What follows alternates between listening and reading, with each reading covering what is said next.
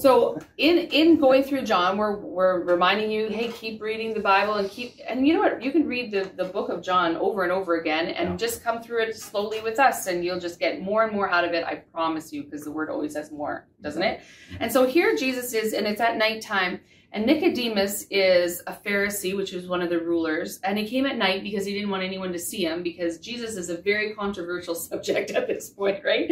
And uh, and so he comes in and he says, "We know that you must have God in you because of the signs, because of the Right, miracles that you're doing." So he's like, "I can see your life. I know that the Lord must be in you."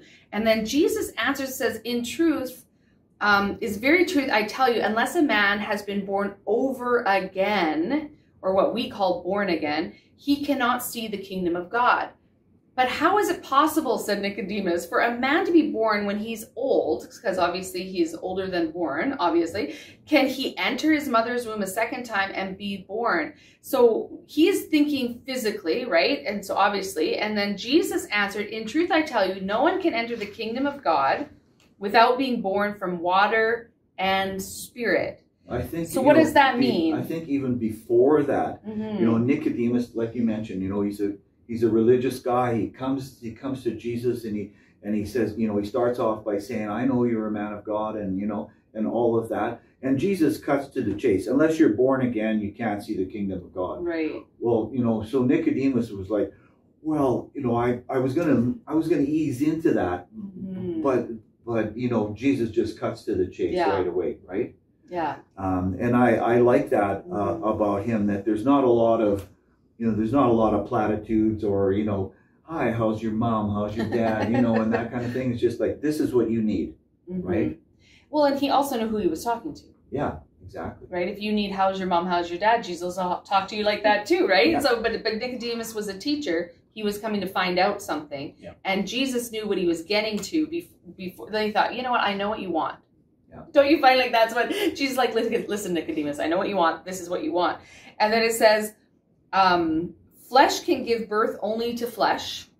It is spirit that gives birth to spirit. You ought not to be astonished. Obviously, Nicodemus is like, oh, right?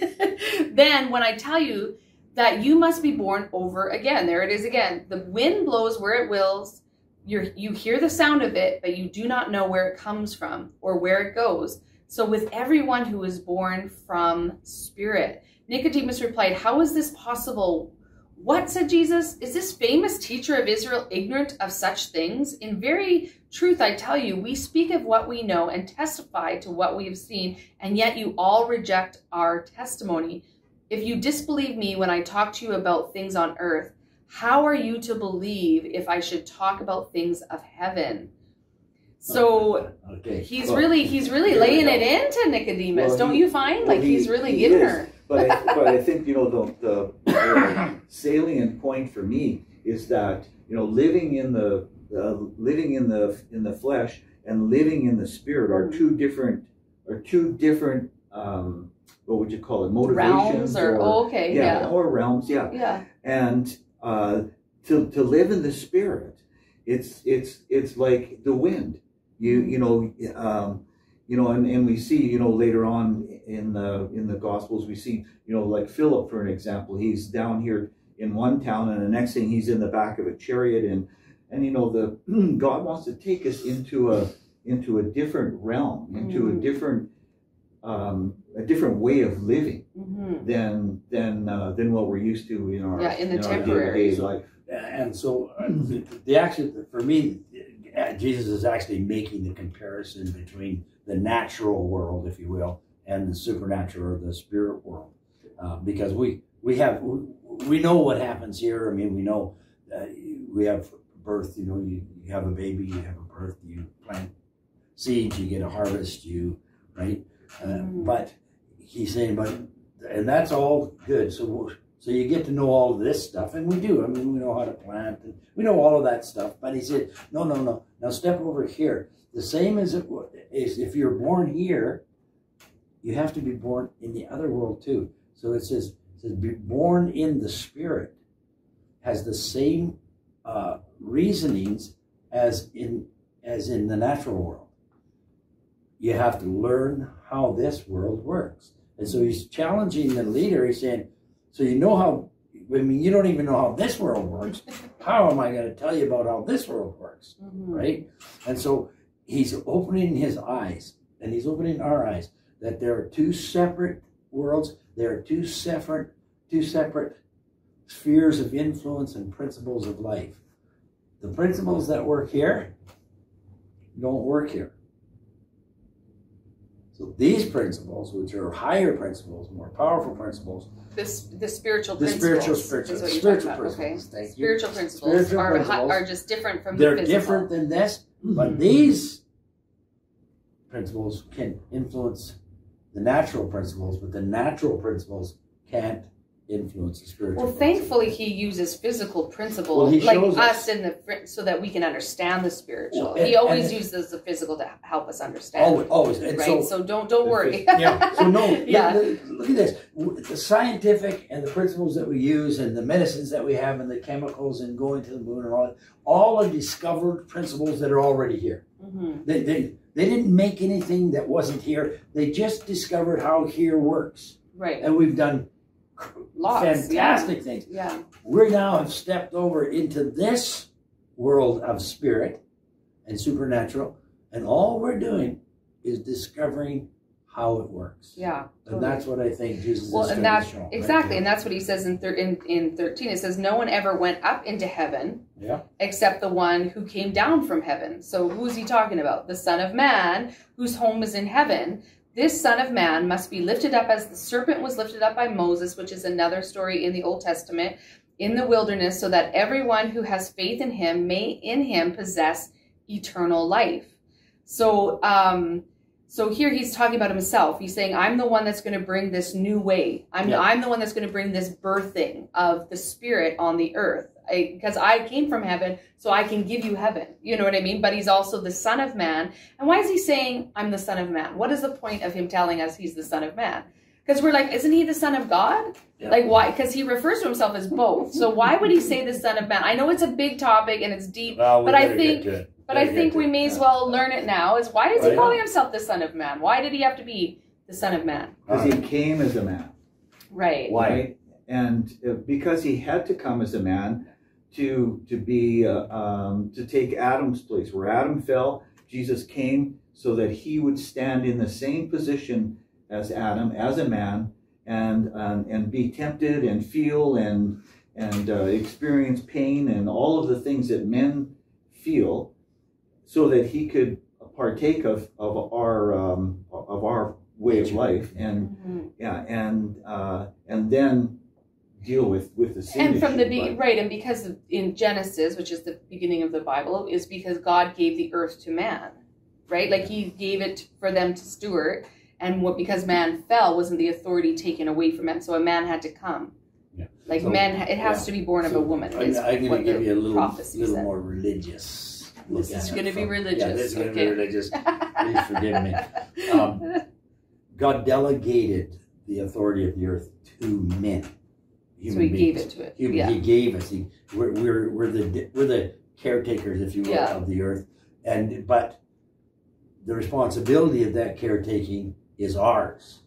And he delegated us the authority to do it, and we actually have the authority to do it, and it's our responsibility. Mhm. And so when we fell and started messing up all that, in order for us to regain that, Jesus had to become a man in the same nature as us, Mhm. be born of a woman, which gives him entrance into the world or Yeah. authority on the world, Authority, yeah. and walk through everything that we walk through without sin, so that he could become the sacrifice lamb, right? Mhm. Uh, and and so that's why he's called the Son of Man because he is a man. He's the man, Christ Jesus, born as a man, died as a man, conquered death as a man, conquered sin as a man, fulfilled the whole Old Testament as a man, and now has been raised from the dead and has, re- and has, has, has rescended himself into Son of God, sitting on the right hand of the Father with all authority in heaven and earth. Is that pretty He was- religious? Yeah, no, it was That's pretty good. good. But like I think it's you're he was fully man, but he was also fully God. Yeah. Right? So he, In- there was both things. He he he, he showed himself as the Son of God to tell him, I am the Son of God, I Yeah. am the Messiah. But he walked on the earth as a man. Yeah. He used all the authority and power that God Yes. gave man to accomplish what man should have accomplished. And that's why always. Jesus says And you can why- do what I do. Yeah. You can act Well, like I do. You can we- have what I have. We, we, have, we, we get what Because of Jesus his- said because he com- he completed and fulfilled it right. all. Yeah. My my my holiness and power, uh, it doesn't do it. It's the power and the holiness of Jesus Christ inside of me and me in Him that actually allows us to do what what we what He said we can do. And so He's the only seed. He's the perfect man. He's the Son of Man, and He is the Son of God, all combined into one thing. Yeah. Right? But I think we have to remember too that that he he uh, was under the old the Old Testament covenant, and he operated uh, completely as a as a man to show us that this is what a man can do, Mhm. right? This is what a man can do living under that law. With the power that- of Jesus. under that With the power of God in you, right? because he never I, I don't believe that. I don't think he, he came to show us. He came to fulfill that. yeah well yeah he- that, well that's what I'm saying is that Oh. he came to fulfill Well, yeah, right? but if, if And- we and- if we could have done it, then we would we would he wouldn't have come. We could we can't we couldn't have done it because we were already broken, right? What- you know what I'm saying? He came to But he- but fulfill it he's so still- that he yes, became the son. But he's not still so our we- example. Yeah. He's still our example. Like when we read about him, when we when we read about Jesus, we're supposed to look at it and he says, Greater things than these you will do. And because he came so that he could show us and then die, raise again, you know, that kind of thing. But he had his father was not an earthly father. yeah. So he was not he was man, but he his father wasn't a man And on earth. So how was he you know what I mean? So that's why he was fully man and fully God, because he was both things on the earth. But we have. so we I mean, have- I know it's getting a little bit deep there, but Oh, we have glimpses in, in the Old Testament of of the greater things. Elijah Elijah caused, caused a, an axe head to to float, float, yeah, right? that's true. And uh, you know they told he told Naaman to go down and and dip seven times in the pool, and his leprosy left.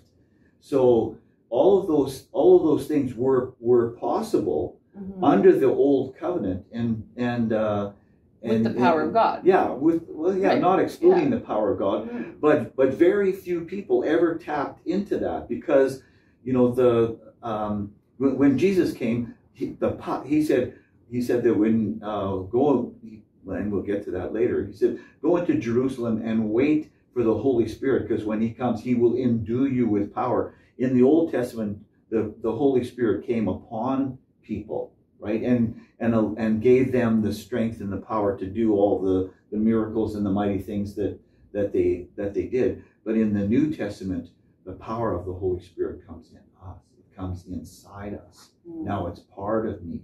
It's not something that I'm waiting to come on me. It's in me. Right? Now. Okay, well, how's that?